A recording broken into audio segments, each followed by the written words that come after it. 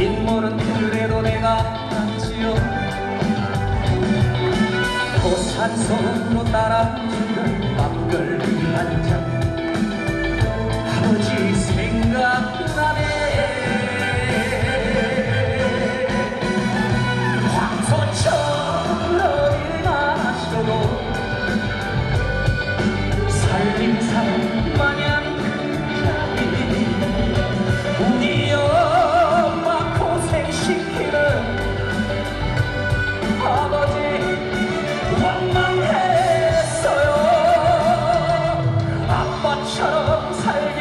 하며